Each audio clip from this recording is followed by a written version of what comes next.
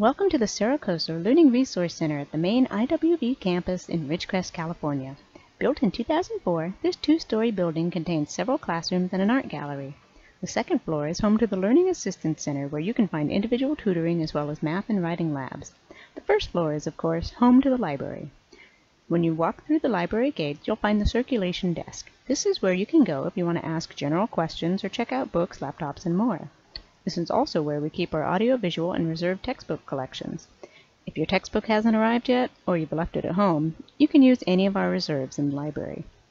We also have free Wi-Fi and desktop computers with printing capabilities at 10 cents a page. However, you will need a Cerro Coso printing account. Need to make photocopies? We have a self-serve copier as well. If you're interested in legal resources, we have a Kern County Law Library terminal with access to several legal databases and a small print collection. Speaking of print collections, we have magazines available for checkout, as well as a reference collection that includes encyclopedias and dictionaries. We also have a large circulating collection with books that can be checked out and taken home for a period of three weeks. These can be renewed unless requested by somebody else.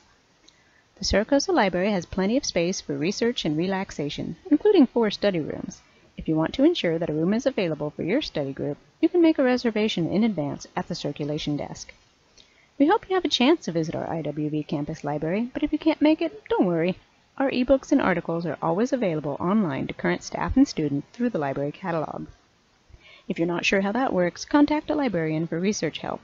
Check out these resources and everything else the Cerro Coso Library has to offer at cerrocoso.edu/library.